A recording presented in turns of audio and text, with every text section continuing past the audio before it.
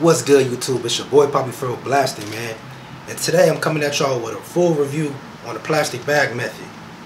So make sure you stay tuned. Don't touch that dial. Stay tuned. JSDG,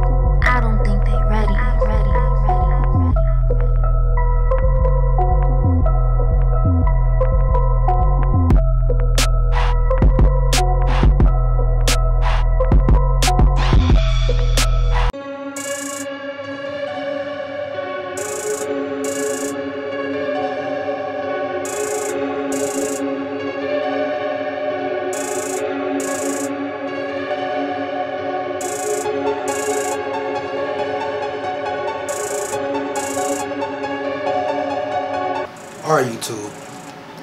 The plastic bag, I'm telling you, is very important.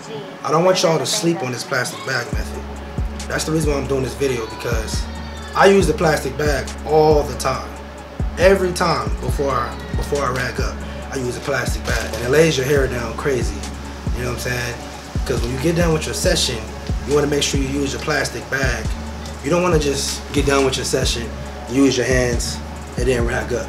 When you get done with your session, the hard, medium, soft session, after you get done with that softy brush, yeah, you want to use your hands to lay it down. That's the first step. Then you want to use your plastic bag. You want to go in with your plastic bag for 10 to 15 minutes. No lie though, no lie, for real. The same amount of time you use it as a brush, you want to use your plastic bag like that.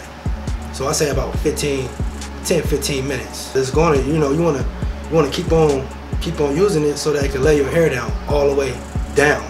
You don't want to have no frizz, none of that. You want to make sure that your hair is laid all the way down first before you rag up. So when you unrag, you going it's gonna be laid. It's gonna be real laid. Plastic bag. I've been doing this for a long time, probably about like three years. I don't know exactly where, who came up with the method or whatever. I think it's probably like a gel method. I don't know. Well, you can get your you can get your plastic bag from Walmart, uh, CVS.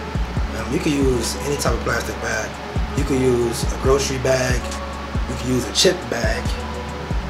You can use a glove. But the Ziploc one is the best one because you can open it up. You can open it up, put your hands in there, and then you can close it so your so that your hands can be placed in there, you know, correctly. It won't move. The plastic bag won't come off your hand, you know. Then you just go in. To be honest with you, I ain't gonna lie. I don't know how this plastic bag right here lays your hair down. I don't know how. Like I don't. It's just plastic. You know what I'm saying? Like I guess the plastic and hair go hand in hand. You know what I'm saying? Like the type of um, texture the plastic is. I don't know. I don't, I don't know. I probably I can't. It's hard to explain, but it just lays your hair down. I don't know. So yeah, that's basically what the plastic bag is. You know, it's good. It's good to use because it lays your hair down, and that's that's what you want to do. You want to keep your waves laid down. You don't want to have frizzy waves. You know what I'm saying? You don't want to have frizzy waves. If you have frizzy waves, then your hair, you know, you it's going to be noticeable. When you out in the public, they're gonna see it's frizzy. You know, you want your hair to be laid down.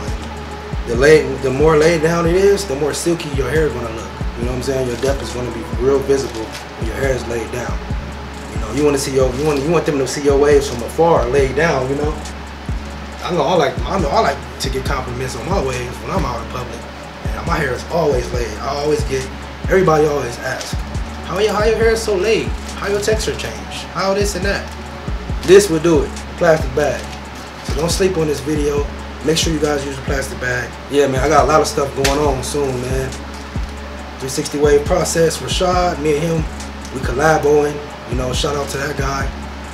Uh, I'm about to get a quick plastic bag session in real fast for you guys. So stay tuned.